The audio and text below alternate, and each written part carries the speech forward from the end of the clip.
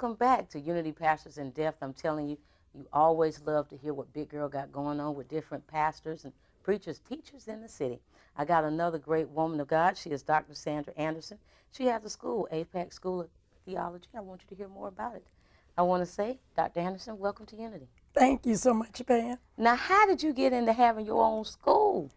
I technically don't have my own school. I technically run a school. Okay. I was unemployed.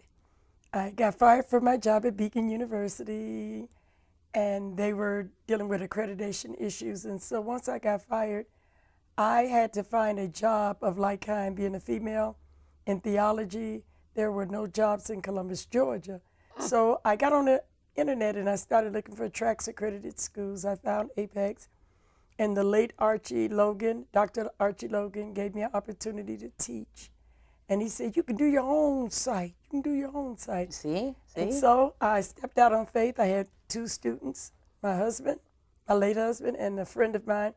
They came aboard as students for me, and it became word of mouth out of my house until 2010 when we took it to Buena Vista Road in our church, and then we took it to our new church location at 430 11th Street, and it outgrew that location, and then we found a home at the old radio station on 13th Street, and it's been successful and it's growing rapidly.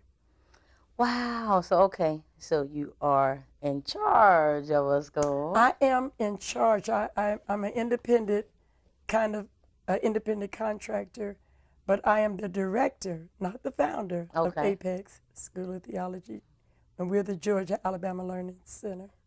Let me ask you this: Did you, uh, the million dollar question, did you always see yourself going into ministry?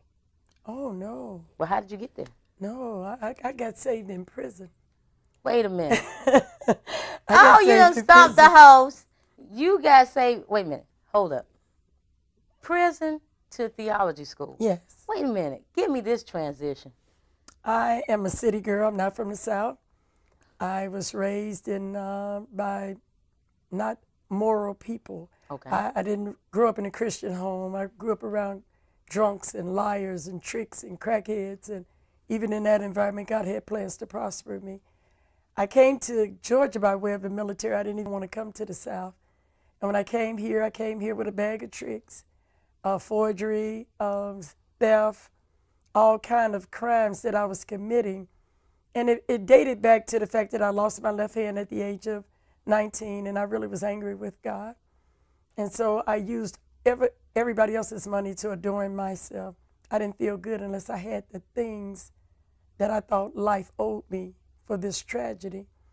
Well, by the time I got um, to Georgia, I believe my steps were ordered by the Lord. I got to Georgia, and for the first time in my life, I started getting arrested. And the Bible said the pleasures of sin is for a season. That's true. And when that season is over, you're not going to get an email or text message. God's just going to shut the heavens and the grace up on that thing. And that's what he did in my life. I got arrested in 1995. I went I was sentenced to prison, but I didn't go. And I got out and I left God right in prison. You know, I, I was chain gang. I was uh, jailhouse religion.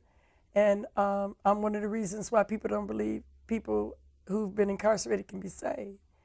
And so in 1998, I was working at Kegel's. I got arrested for theft and forgery, and I couldn't make bond, and I had to go to prison. Once I got in prison, I got on my knees and prayed and asked God to save me. And I said, if you're real, save me. While serving my prison sentence, I was saved. My youngest son, Lorenzo, died. Mm. He was age 10 as a result of a heart attack and asthma attack. And that forever impacted my life. Thank you so much. It forever impacted my life. I said, you know what? Either I'm going to be real or I'm not. And when I came out of prison, I felt led by God to go to uh, theological school, and I presented myself at Beacon University, and they denied me the first time. And uh, I, I, when I went back, they allowed me to come, and I worked very, very hard. 2001 is when I went into the school. I worked uh, overload in my classes, studies. I graduated in 2004 with my bachelor's of biblical studies. I graduated with honors. 2006, I graduated with my master's of art in biblical studies. I graduated with honors. 2007, I graduated with my master's of divinity. I graduated with honors. And then I went to Liberty University. And while I was working on my doctorate degree the last semester, getting ready to defend, my husband passed. And I didn't even think I was going to complete that degree. And, And this was when your husband passed? he passed in 2010. I thought, Yeah, right after we started, just took the school out of our home, and Mm. I didn't think I was gonna make it through. That was the dark, darkest time in my life. We had started a ministry, everything was good. God had healed our marriage. Uh, our ministry was up and growing. We had found a new building. Everything was right in my life, so now you're doing all this on your own, you and God. Me and God. And I have an awesome team of people who push me and support me in everything that I do. You know, I'm looking at you. My mouth is just like, ooh. And we did a show like this before where the pastor talked about some of the things he went through. But I can tell for you, you had a turning point Oh, in your life that Oh, yes. propelled you to the next level. Yes, and I, I'm just a vessel of His grace. Nothing great. A lot of times when you see a female who's in theology, people already, ooh. They do. Yeah, but I didn't set out to be um, this great theologian. God told me I was Dr. Anderson before I even got saved. Oh, you even knew it. Mhm. You I thought I was Mo- a medical doctor. You like Moses. yeah, I thought I was a medical doctor. I went and signed up for some medical classes and failed all of them. Mm. But he still called me to be Dr. Anderson. You are an amazing woman. Thank you so much. God is amazing, God. Well, tell people I, I've got to go to commercial break, but I, again, I want you to come back. Yes, ma'am. There's there, there's like there's a side two, three, or four All right.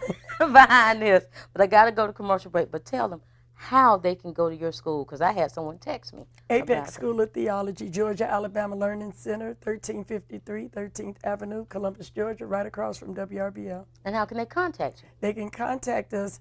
Uh, they can contact us at uh, 706 221 5358. Well, Dr. Anderson, thank you so much for doing my show. Thank you. I got to go to commercial break, and then I'm coming back with Pastor Gwen Rogers. Local Church Connection is an exciting new publication in the Columbus area. Local Church Connection is a magazine that offers free advertising to Christian churches. Our circulation is 10,000 and we're free to pick up at over 100 locations in Columbus, Harris County, and Phenix City. Be on the lookout for our new March April edition of Local Church Connection. For business or church advertising, contact Tricia Jeems at 706 244 6413 and check out our website at localchurchconnection.com. The moral decline of television is evident every time you touch the remote. We've gone from happy days to anger management, from Father Knows Best to RuPaul, The Flying Nun to 16 and Pregnant. There's a battle for your family, and CTN is fighting to shine the light of Jesus into the television of every home. Join with us by grabbing your cell phone and texting the letters CTN to 20222 to donate $10 to CTN. We're viewer supported, so join the fight for the family. Text CTN to 20222. Welcome you to be a part of our ministry. This is not a put on, but this is a come on. And we come to share in our different ministries with our dance team, with our choir, and our TV ministry. And we looking for great things to happen, great miracles to happen within this great thing to happen, great miracles to happen within this place. Come and be a part of the blessing plan. Hello, welcome back to Unity Pastors in Depth. I have another great friend. She takes care of doing my set. She's the one that keeps it looking so girly for Big Girl. Now I'm the town girl, but Pastor Gwen gonna make sure Pam looks cute. And I want to go ahead and say, welcome to Unity. It's so good to be here. Tell my people, you talk about decorating when you was me and you shared off camera, and you talk about decorating is a ministry for you. How'd you get started in that? Well, it's a long story, but I'm gonna try to make it short. Okay.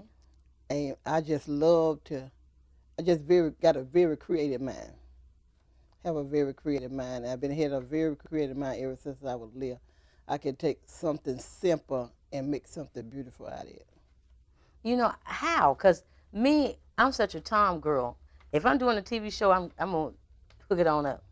But outside of that, if it stay one way, it's one way with Pam. But you and my sister, y'all can take see trash on the side of the road, spray paint that sucker and it looking cute. How do you make things look cute? It's just a gift that God has given to me. God has given that gift, and He had put it in my spirit. And uh, seems like I'm just not happy unless I'm doing something. Do you see the beauty in something once you see it? It's just it just flows out of you into transforming into something. I exactly don't know exactly how it's gonna look. I just follow the spirit of the Lord tell me to do, and Okay. do that. And then before I know it, then there it is. So you just took this pink fabric, put the lace. Well, you tell them what they're saying. I'm just doing it. Okay, this are overlays. Okay. The overlays and the uh, table runner. Now, which one's the overlay? Because Big Girl has no clue what that is. This the overlay is the big table. This right here is the overlays. Okay. And this right here is the table runner. Okay. Oh. And then the flower arrangement and the candle. Now, do you make your own arrangements? Or I make my own flowers arrangement and um I can do different styles and I have many different colors to make your wedding or whatever your special occasion look beautiful. Okay. Now, is there any certain stores you pick, or you just go to any of them? Well, I don't really have a certain stores that I pick to, to get my supply. I order is online. Okay. Uh huh. And some of them I make myself. I sew it myself. Now you decorate on top. You're a pastor as well at Faith Right. and Hope Church of Deliverance. Now, how do you have time to do event planning and pastor too, Well, it, and your wife too, yes, I am a wife and grandmama? and grandmama. How do I have the time? Well, the strength of the good Lord that give me time. I make time for what I love to do best. What you love to do best, you make time for it. And it's become a joy in your life. You can't help but to make time for it. And I get my joy, enjoyment about decorating and doing the will of God. I can tell just seeing people look at the art that you've done to make a plain set look so pretty. You even if we wasn't sitting in the chairs, these folding chairs don't look like folding chairs. I'm gonna tell you right now. You even put the covers over them with the cute little bows, Right. and got a whole I would say a whole warehouse full of stuff. Yes. How long did it take you to accumulate all the stuff, and where did you go to get everything you got? Well, I still started from scratch, and um, when the vision uh, came to me, I just started from scratch, just buying stuff. I went, I go to a lot of yard sales. Okay. I go to a lot of Goodwills, and then I just start ordering online. And then when I order online, I, I found people that have weddings and they selling their stuff.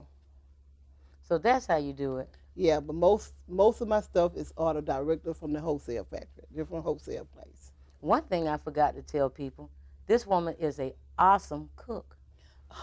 I mean, she did. We did an evening out with the clergy at my father's church, and let me tell you, Pastor Gwen, oh wee, she cooked some meatballs, she cooked some wings, and I saw the sauce from where they were. but that that tasted good, cause somebody said at the show said that woman put her foot in it. Yeah, I love to cook too. That's uh, one of my main hobbies. I love to cook. I'm a type of person that I, I'm gonna feed you if I don't do nothing else. I'm gonna make you look good, and I'm gonna make sure you're well fed. All right. Well, Pastor Gwen, tell people where they can find your church at and the hours of operation. We have service on Wednesday, Bible study starting at seven o'clock, and then we back again Friday for Joy and Prophecy on on Friday at seven o'clock, and then we back again on Sunday at twelve o'clock for our, our noonday our noonday worship service, and we has moved to thirty six fifty eight Cusseta Road. How can they contact you?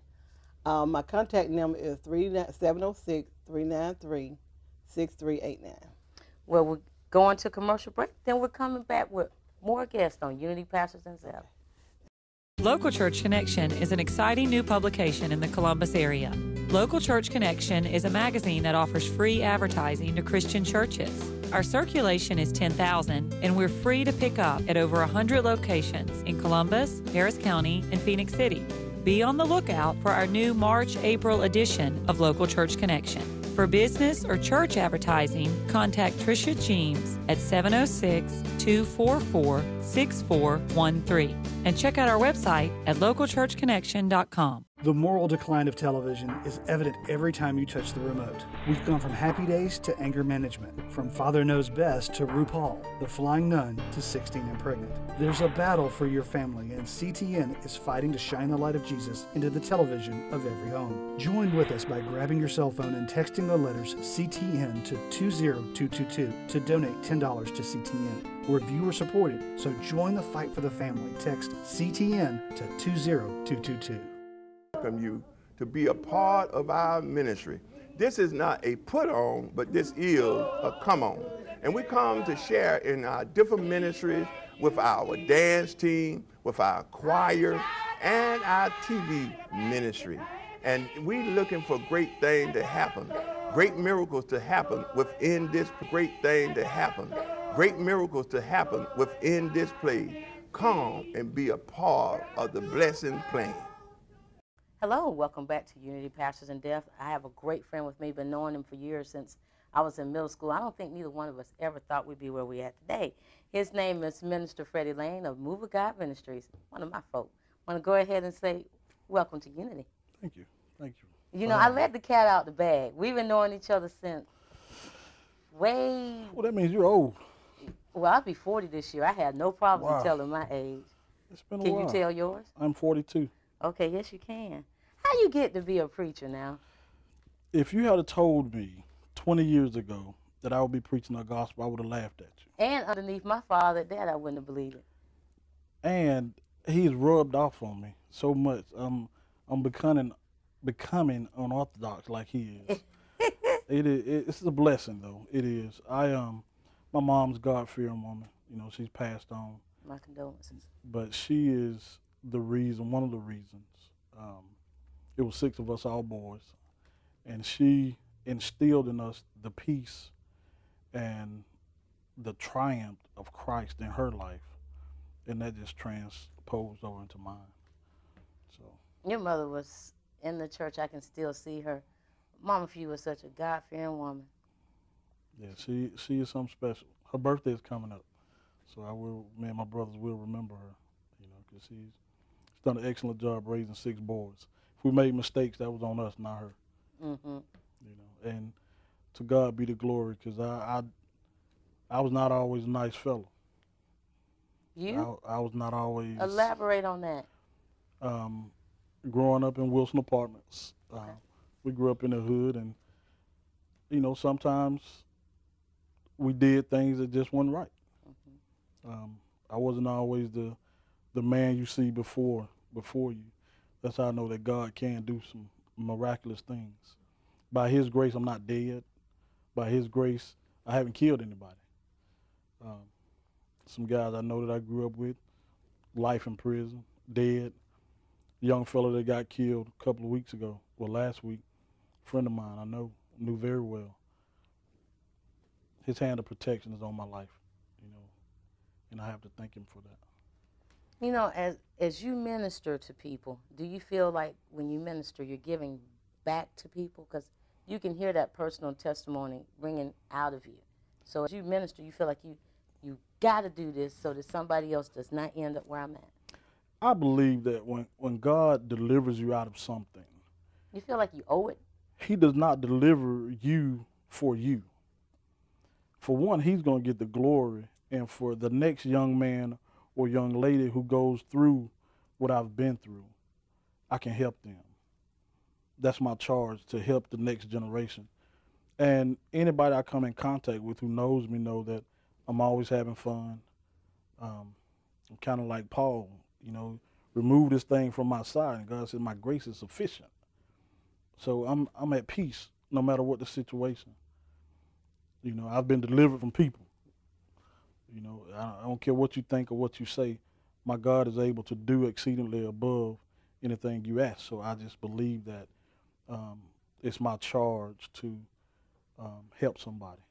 So you feel it's your charge. I say owe it. You feel it's your charge, and you feel like you you feel you are delivered from people. Do you feel that you know you've been delivered from people? I know because it- Why? because How can you minister to people and then feel like you are delivered from people, or is this when I say I'm delivered from people, different? it's a difference. I'm delivered from people um, Expectations of you or something? my, their expectations, their put downs, their qualifications, the titles they label me with. I'm a minister, yes, okay. but there's no title that's going to send anybody to heaven. Okay. We as men and women of God have to meet them where they are. I can't minister to someone about having the lights cut off if I've never been in the dark. I can't minister to someone about being hungry knowing that God will send somebody to feed you if I've never been hungry. Okay. It was six of us, all boys. My mom and dad did the best they could, but we grew up in Wilson apartments and sometimes it got tough. hmm So these are things that I've been through, and it, it's my charge to for the next young man who has a family who's just starting out. Minister Lane is tough, man. It is tough. But I know someone who can deliver you. I know someone who will keep you. I know someone who will feed you when nobody else will. I'll bring you to my house. If you need to sleep on the floor, I'll let you sleep on the floor. I'll let you sleep on the couch. I don't have a lot, but what I have, if you're in need, I got you. You sound like a man that just has not forgot where he's come from. I can't. I can't. You know, I, I listen to you talk, and you know, we have our personal testimonies of, of where we come from and where we're going. You know, some some people forget. I'm just mm-hmm. going to be honest with you. Some people, once they arrive, they've arrived. They're not thinking about nobody else. But I don't understand how can you do that? How can you feel like you've arrived when you really you never do? And when you're in this life of Christ, it's, it cannot be about you. That's the big. There's a song, not about us. hmm It's all about Jesus. And once you die to self, to be a Christian is to be Christ-like. He gave. You cannot be a Christian and not give something. He gave his son so that we could be redeemed. I gotta love. We're called to love regardless. The ones that spitefully use you, you gotta love them. Yes, you do. You have to love them. And, and that's my own personal testimony. There are people who don't like me for whatever reason. I'm going to pray for you and keep going. But it, it, it does my heart good to to minister to people, to love people. Um, you've been knowing me a long time. Yes. And, and I love being around people. You know, and, and I believe that I'm where God intended for me to be. I really believe that. And He's going to honor that. You know, I say you where you're supposed to be. I'm glad you move with God. One thing I want people to know, as I said, this man is a Christian comedian. People, y'all just don't know about Freddie Lane. Freddie Lane, he does this great impersonation of Mr. Brown. If anybody mm-hmm. knows Tyler Perry, tell him if you ever need a fill-in for the man that mm-hmm. does Mr. Brown, Don't right y'all, here. don't do, don't, don't, don't. Call him. That's all I'm gonna say. Just call him. Why is it that you? My dad's like that. Why is it that you like making people laugh so much? Because laughter is good medicine. If you give people the opportunity to laugh, give people the opportunity to feel good, they forget about some of the troubles they have, if only for a moment. And and I think once that laughter has eased some things, you get a chance to minister to people, to what to their hurt, to their need. Um, and people need to know that laughter is okay It is. sometimes we're so religious and so structured that we can't have any fun. You know, I think God intended for us to have fun, not to go out and do anything crazy, True. but to have fun. Well, I've got to close my show out, but tell people how they can contact you. You can contact me at the Move of God Ministry. You can call me on my personal number. I don't know if I should give it out, but I'm going to give it out anyway. 706 464 1212. Minister Lane, I love you. Well, I want to tell you, Minister Lane, thank you so much for coming to Big Girl. Show. Remember, show love in the community and pray for your pastor. Local Church Connection is an exciting new publication in the Columbus area. Local Church Connection is a magazine that offers free advertising to Christian churches. Our circulation is 10,000 and we're free to pick up at over 100 locations in Columbus, Harris County, and Phenix City. Be on the lookout for our new March April edition of Local Church Connection. For business or church advertising, contact Tricia Jeems at 706 244 6413 and check out our website at localchurchconnection.com. The moral decline of television is evident every time you touch the remote. We've gone from happy days to anger management, from Father Knows Best to RuPaul, The Flying Nun to 16 and Pregnant. There's a battle for your family, and CTN is fighting to shine the light of Jesus into the television of every home. Join with us by grabbing your cell phone and texting the letters CTN to 20222 to donate $10 to CTN. We're viewer supported, so join the fight for the family. Text CTN to 20222 welcome you to be a part of our ministry. This is not a put on, but this is a come on. And we come to share in our different ministries with our dance team, with our choir, and our TV ministry. And we're looking for great things to happen, great miracles to happen within this great thing to happen, great miracles to happen within this place. Come and be a part of the blessing plan.